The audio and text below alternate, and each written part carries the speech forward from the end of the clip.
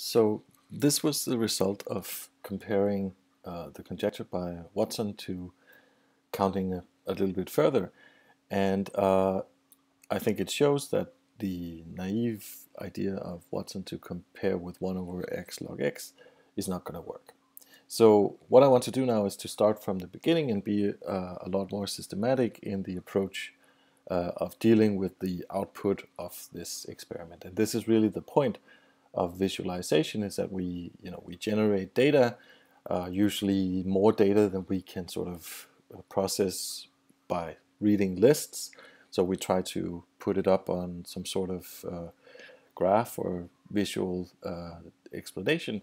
And of course, uh, then we need to deal with the fact that such a, a graph is uh, is something that the human mind is, in a sense, a little bit too good at at interpreting. So we're very good at sort of seeing patterns, seeing uh, systematic behavior, even so good that we sometimes see things that aren't really there. So we need to be more uh, systematic. And in fact, what I'm going to use is, is pretty much the standard toolbox that you probably know if you studied uh, physics in, in high school uh, for sort of dealing with uh, standard output from a standard uh, scientific experiment. And so really it's uh, it's fitting, it's looking for lines and that kind of thing that uh, you've probably seen before, but probably also never used very much in the context of uh, of uh, university math. So um, so what I'm going to do, and, and we can get this started right away. I mean, one thing that we, we can do is to use this trick of of comparing data um, of, of transforming data in, in various ways. And uh, for instance, what I can do is I can switch to a log-log scale, right? So when I went to high school, this was actually paper that we were given in hand. I don't think that happens anymore. Uh, but what I'm going to do is I'm changing the both axes to uh, a log scale, uh, knowing that uh, if I have data that behave via a power law, then I will get a straight line in this uh, setting. I also know that a semi-logarithmic uh, um, setup, which puts one of the axes in a logarithmic uh, scale, will be right uh, straight lines if I have something which behaves either exponentially or logarithmically. So when I've done this, you can see that there's very clearly uh, a straight line here. these are the observations. And when I transform the log this so little happens that it looks like a straight line that is not a straight line but you can see that it's a wrong straight, straight line anyway. So so really you know what we want to do here is to say okay if we can put ourselves in the situation where we can transform the data that we get out of our experiment into something that looks like a straight line then probably this is something that means something and then we can use it to analyze uh, the experiment the output of the experiment we've made Okay, in order so to, to do this more systematically, I want to have more um, uh, points, uh, data points than just the 50 that I created uh, during the last uh, video. And uh, I don't think I want to spend too much time on it now, but uh, there's a way explained in the book to speed up the computation a little bit. So the idea is that I will make what is usually called a mutually recursive sequence procedure. So you can see I have a procedure uh, called D tower calling R tower, and I have something called R tower calling D tower. So I have these two procedures calling each other, and they're the uh, the recursive computation of the tower, the counts of the number of towers studied by Watson, uh, is put into this uh, setting. And the the reason why I did it this way is that D tower, as you can see, has no option remember, whereas R tower has an option remember. And, and that's by design, so the point is that the D tower uh, part of the, the program uh, does some pre-computation to ease the computations of the, um, of the um, number of towers and to save time this way. And it does this very quickly, so there's really no need to store this information.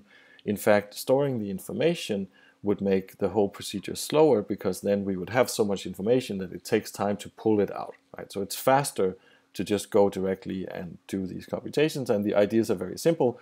If, if for instance, I want to know how many towers have the weight uh, w and w happens to be negative, then uh, by symmetry, that's the same as if I pass from w to minus w. So uh, that's what I'm doing here. So I'm going into the remember portion with only positive weights. So this means that the uh, remember table that R tower generates uh, is only half as big as it used to be because the negative weights are not stored because there's no remember option in D tower. And you can sort of do the same if the, the weight is too big so that you cannot reach that kind of weight, then you can just return a zero, uh, also without storing anything. And if that's not the case, then you use R tower and then uh, a remember option is actually generated and then we do the same the whole way through. So um, let's uh, see what we can do with this. So uh, I'm going to compute um, the numbers between 200 and 250. And this is going to take a little while, um, but there you have it. So um, these are the, the pure numbers. So just to impress you a little bit, so the, this is the last number I computed was d tower 250.0, and you can see that's a that's a pretty big number, probably something with 115 ish letters or uh, digits. And of course, the, the point that I'm trying to make, so, you know, this, this shows you that it's a relatively efficient uh, procedure we have here and that having only 12 uh, entries is not, uh, not necessary in, at all in a situation like this. These are the, uh, the pure numbers where I haven't divided by 3 to the n because I want to be more systematic and say, okay, are we sure that it's reasonable to compare these, uh, this output with 3 to the n? or rather 3 to the n minus 1, which is the total number of, of, um, of towers. And you know, to get an idea of this, we can go in and change the axis again.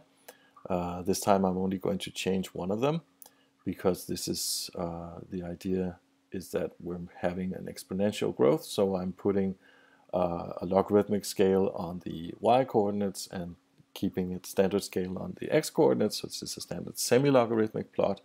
And as you can see, I get a, uh, something that looks a lot like a real line. And if I put a one-to-one, uh, uh, oh no, I'm not going to do that because that actually is not going to work for, for something like this. Uh, I'll do that in a second. Okay, so so this sort of shows that this is this is clearly an exponential growth, and uh, we should now try to see if we can analyze this exponential growth. And then I'm going back to the idea that I'm sure you've seen before that I'm going to make a fit of these uh, observations with a line. Now, when I do this, it's extremely important. We discussed this at length in the book, so I'm not going to say so much about it now, but it's extremely important that you think about where you try to make the, uh, the linear um, approximation because there's always a, a, transformation going on here. So really, you know, what I'm doing when I'm passing to a, a semi-logarithmic plot is that I'm taking the y coordinates and I'm instead of plotting them as they are, I plot their logarithm. So that means that I'm making a transformation where I'm taking the, the, the, the correct or the, the actual output of the experiment and transforming in this case by taking a logarithm. Now, then when I try to deal with these uh, informations, when I, for instance, try to make a fit, then uh, the best fit will, the best fit of the transformation is almost never the transformation of the next best fit. So, so there's sort of a non-commutativity here that is important, and um, I think I have no good solution to this. I, the one solution that I would always uh, emphasize is that you, whenever you try to work with fitting of this kind of data, probably with any kind of data, but but still, uh, then you need to uh, plot the results together with your fit to get an idea of whether it looks correct. And so that's what I'm going to do now. So first of all, I'm going to make an explicit conversion to the uh, logarithm. So I'm, I'm plotting here not n and d tower n, but n and the logarithm of d tower. And of course, I'm getting the same uh, graph as I did up here, but now it's setting so that I've set it up so that it comes in the exact same um, um, it comes in the uh, in the correct uh, standard XY coordinate system. Then I do a fit, And let's return later to how this is done, but essentially I'm asking Maple to find the best uh, expression of the form ax plus b, i.e. the best line, uh, which uh, then gets as close as possible to the observations. And you can see there's sort of a strange uh, syntax here, which has to do with the fact that the fit operation procedure that lives in the statistics package um, has wants the the first coordinates in one uh, vector and the second coordinate in another vector. So I have to do it like this. Uh, but the output is fairly straightforward, and you can see that the the, the line that I have has a, a, slope which is a little over uh, 1, which is sort of consistent with the fact that we're seeing the same type of numbers on the two axes. And then according to my uh, philosophy, I want to show you the fit together with the observations, and you can see that this is in fact something that looks very convincing. Right? So, I mean, not only uh, does the line fit the um, data very well, uh, it is also there's no sort of uh, no sort of uh, exceptions and I'm doing this fairly fair, far out in the sequence so I'm not encountering sort of any uh, initial behavior that might be off from the from the end. Now as I'm sure you know whenever you do a fit you're using the least squares method and you're finding sort of you're minimizing the distance from the uh, observations to the uh, line and you can get uh, a number that sort of explains the distance, uh, the, the minimized distance, that sort of tells you how good a fit this is. A number like this, I'm sure, is used in many other contexts, but I have to say I've never really felt like using it in, a, in an experimental context because these numbers, I mean, are not very uh, helpful. I think what you need to sort of have a, a fit and a figure like what I'm showing you here that uh, is convincing. Now, what is the uh, rate of growth? Well, the rate of growth is, uh, um, I mean, so if you transform back to take, I mean, so, I mean, I compared um, n with the logarithm of the number of towers at n. Uh, so if I want to know what the approximation is of the original uh, sequence, I need to take uh, x of this, and I can have this cleaned up a little bit. And so this is my um, this is my exponential um, approximation. And you can see that the base of the exponential growth is a number that's very close to 3. And so uh, actually, so it's sort of a coincidence that these numbers are are close to each other. That's because e and 3 are relatively close. That's why this looks like a slope 1 almost.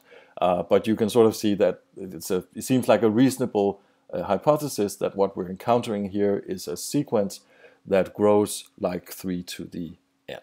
So that's the first step. So let's assume from now on that Watson was right about this part of his analysis, that it makes sense to compare the uh, concrete observations uh, to 3 to the n minus 1, which is the total number of, um, of towers.